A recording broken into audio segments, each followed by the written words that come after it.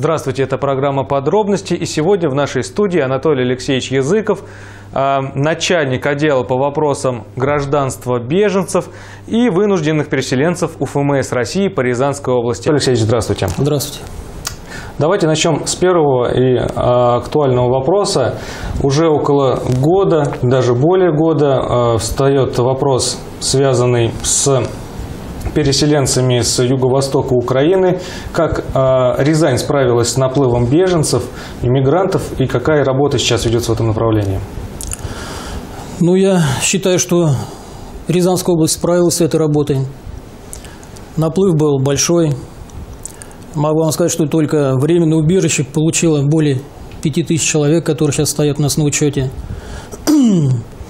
Но общими усилиями, совместно и с администрацией области.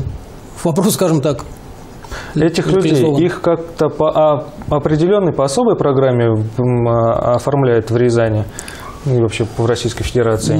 Да, когда случилась эта история на Украине, а, в правительстве Российской Федерации был принят ряд мер, вышли нормативно-правовые акты, намного облегчающие условия приобретения различных статусов на территории Российской Федерации этой категории граждан. Например, если взять э, получение временного убежища, если в общем порядке по закону о беженцах срок рассмотрения заявления составляет 3 месяца, то для граждан Украины это 3 дня. В идеале, И... в, в идеале давайте возьмем такую ситуацию. Человек приехал э, с Донбасса, у него какие-то там с собой были документы, какие-то, возможно, уже не подлежат восстановлению, потому что там, надо признать, идет война, и ситуации разные у людей бывают. Вот он приехал, первым делом, я так понимаю, обращается к вам, приходит в ваше учреждение, и сколько ему от момента э, обращения к вам до момента получения российского гражданства времени уходит, какие процедуры в это время производятся? Извините. Ну, если брать с самого начала, да, действительно, они приезжали к нам, у них и не было некоторых документов, потому что некоторые действительно бежали от войны, там собирали все, что успели взять. Но на это внимание, конечно, обращалось. Принимались документы, то есть все какие были. Потом проводились соответствующие проверки. Но если брать с момента обращения до получения гражданства, то ну, самый, скажем так, короткий путь – это обращение за получением временного убежища, которое при ну, нормально, тут много, конечно, зависит еще и от гражданина, не только от нас. Если он будет ну, вовремя пройдет всю медкомиссию, как положено, но для граждан Украины займет порядка 10 дней. После этого сейчас на территории Рязанской области вот с этого года, где-то с мая мы начали принимать документ, заработала государственная программа по оказанию содействия добровольному переселению соотечественников, проживающих за рубежом. То есть гражданин Украины имея, имея, получив временное убежище на территории Российской Федерации, имеет право подать заявление на участие в данной программе. Опять же, срок рассмотрения заявления для граждан Украины по данной программе, если в общем это составляет месяц, для граждан Украины 15 дней. Угу. То есть, став участником этой программы, получив свидетельство, гражданин имеет право без квоты и без подтверждения знания русского языка, истории России и основ законодательства подать документы на разрешение на время проживания на территории Российской Федерации. Срок оформления данного статуса до двух месяцев составляет. Ну, то есть, если через, ну, чисто теоретически через два месяца он получил этот статус, время, решение на время проживания, он тут же, минуя вид на жительство, не надо никакого срока там, прожить определенное количество времени, может подавать на гражданство. При этом не подтверждается и законный источник средств существования, опять же не подтверждает знание русского языка, пакет документов минимальный, три месяца на рассмотрение. Скажите, такой поток людей большой, я так понимаю, а, создает определенную нагрузку для учреждения, и причем изменен, измененная форма, она тоже определенное напряжение может вызывать. Были ли конфликтные ситуации с данной категорией граждан, и как эти проблемы решались? Ну, и решаются ли вообще как-то? Или просто, да. может быть, отписываете, не выдавать гражданство человека? Нет, конечно, так быть не может. Действительно, ситуации бывали разные, конфликтные ситуации, естественно, связаны с этим с ажиотажем, большим количеством народа. Да, были проблемы и с временным убежищем, когда вот основная масса пошла. Ну, тут решали проблемы по-разному. И ну, много граждан Украины размещались в пункт временного размещения. То есть мои сотрудники И я выезжали в эти пункты, принимали документы непосредственно там, чтобы их э, не возить сюда. И на месте были очередя, большие очередя. Ну, как обычно, когда создается какой-то ажиотаж, да, кто-то пытается эту проблему решить, кто-то пытается на этой проблеме заработать. То есть были такие факты, что какие-то создавались записи очередей. То есть люди там где-то записывались, как они рассказывали, стояли где-то ночами там. А по факту получалось, что вот как обычно в 9 открываем, заходит толпа, к 11 никого нет. Выходишь во двор, где остальные, никого нету. Поэтому я вот и сам лично боролся с этим, скажем так, и сейчас вот все борюсь. Кто-то кто продавал места в этих очередях, так понимаю? Ну, кто-то, да, ну как вот, потом ну, видел я этих людей, те же граждане Украины, угу.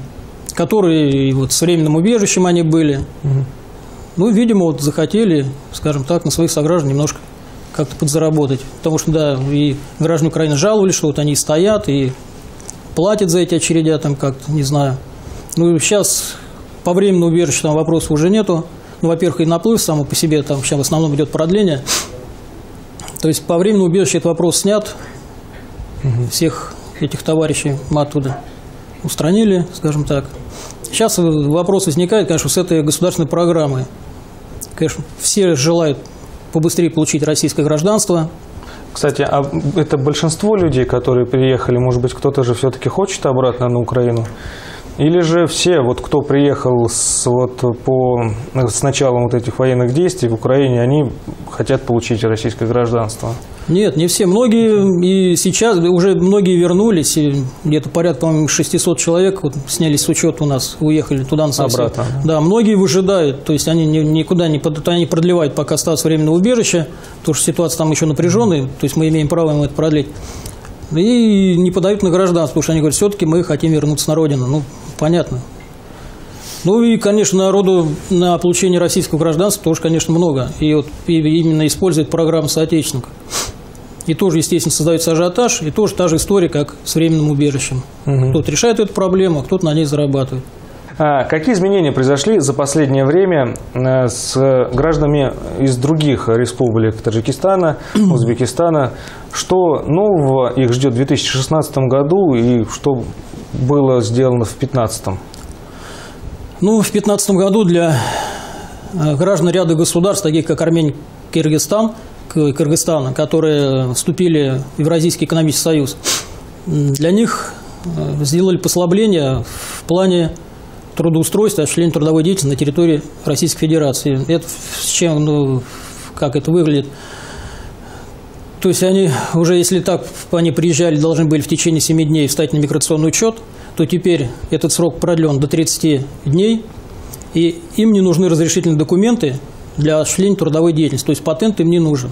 Они э, работают на основе заключения трудовых договоров. То есть трудовой договор заключил, э, пока он действует, он здесь работает, этот гражданин, э, проживает на законных основаниях. Если там что-то произошло, работодатель с ним расторг этот трудовой договор, э, этому гражданину дается 15 дней, чтобы найти нового работодателя, заключить трудовой договор. Если ему это удалось, он автоматически дальше работает, то есть ему не надо выезжать на родину угу.